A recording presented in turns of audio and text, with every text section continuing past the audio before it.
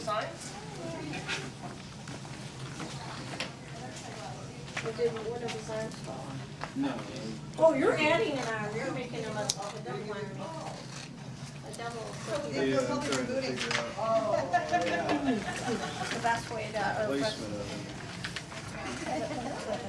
Nah, I think that should come out kind of more like at, uh, higher, I'm thinking more shoulder-ish level.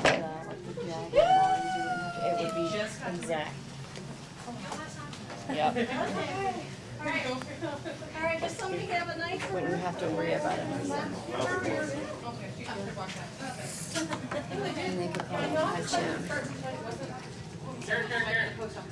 Ten for twenty bucks. Probably what we charge. Please, uh, Anyway, what I'm doing, Chris, is I'm massaging situation.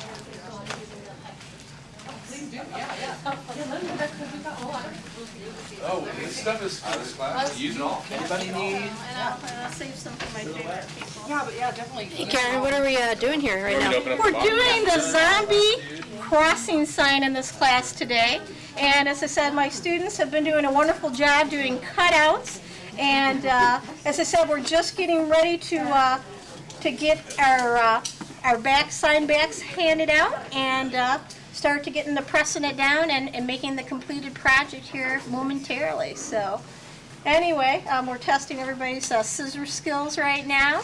And uh, anyway, everybody's been awesome. As I said, we've had a couple hiccups this morning, but but everybody has been tremendous. So anyway, I couldn't ask for a better bunch of people, and uh, we're having fun. And I can't wait to see the completed projects here in probably about 20 or so minutes.